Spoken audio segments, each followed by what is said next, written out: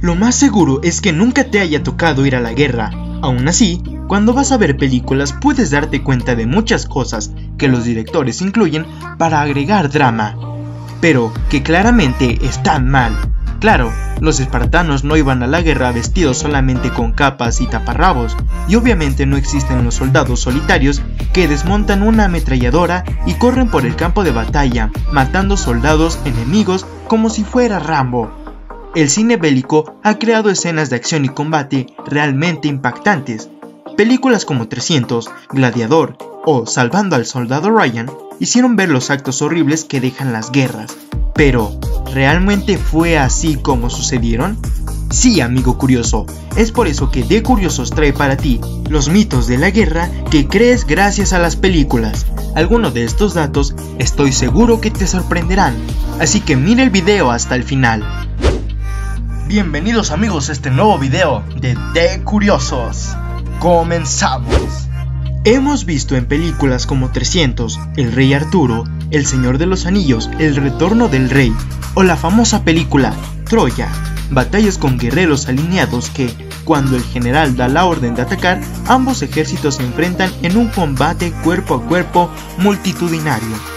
Pese a que en el cine son escenas realmente llenas de acción que hacen de los combates lo más épico de la película, lo cierto es que las batallas antiguas realmente eran aburridas.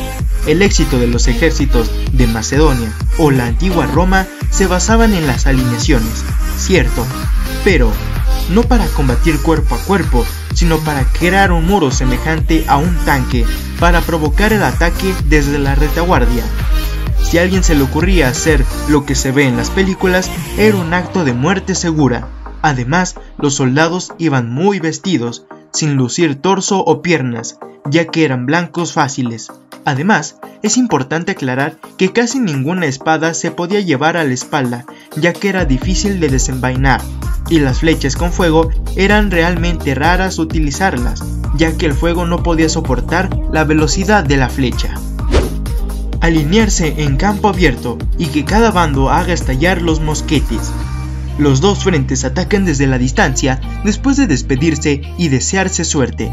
Se atacan unos a otros con bayonetas y demás armas de fuego. Esto lo hemos visto en películas como El último Moicano y en varias producciones sobre la época de Napoleón, pero en realidad los mosquetes no empezaron a popularizarse hasta casi el final de la época napoleónica, debido al excesivo peso y la dificultad que tenía para ser cargado, no era tan popular como el arcabuz, que era considerado arma de maniobra múltiple. De hecho, solo los soldados más vigorosos e instruidos podían hacerse cargo de los mosquetes. Las armaduras de los mosqueteros eran muy ligeras. Además, su uso no era habitual inicialmente debido al humo que desprendían. Con su perfeccionamiento a finales del siglo XVII, permitió un uso más masivo. El perdedor muere en combate, dejando pocos sobrevivientes. El bando ganador tiene la fuerza suficiente para retirarse con mayor energía. Esto lo hemos visto en El último Samurai, Gladiador, la serie Juego de Tronos, por mencionar algunos. La realidad es que tras acabar una batalla, no todo el mundo muere. De hecho, son muchos más los sobrevivientes que los que vemos en el cine. La batalla de Verdún en la Primera Guerra Mundial es considerada como la más larga y sangrienta de la historia.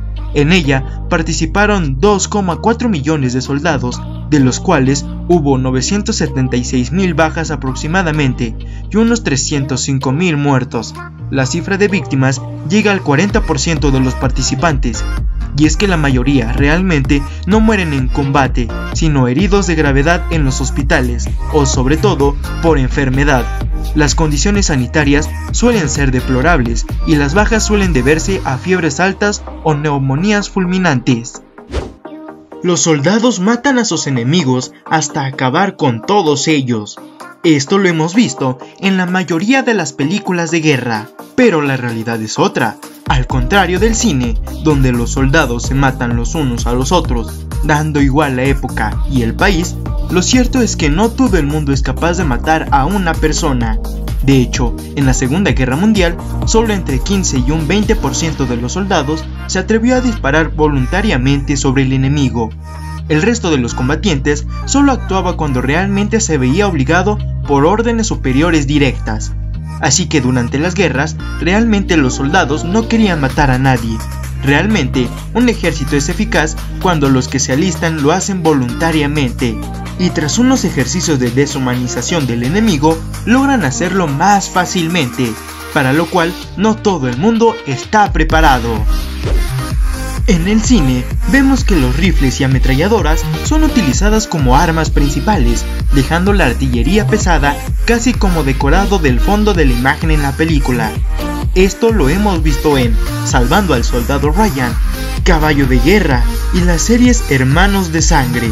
En la realidad, curiosamente, la mayor parte de las muertes por armas de fuego fueron más por la artillería que por rifles o ametralladoras. Como hemos visto, el llamado arte de la guerra no es tan emocionante y espectacular como se muestra en el cine.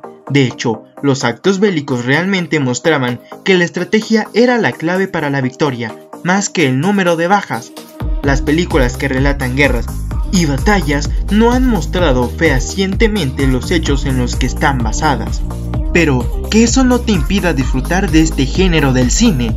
Deja en los comentarios el nombre de tu película favorita de este género. Hasta aquí el video de hoy amigo curioso y si te gustó el video no olvides darle like y compartirlo y que no se te olvide suscribirte y activar la campanita para que no te pierdas ninguno de nuestros videos. Nos vemos en otro video. Adiós.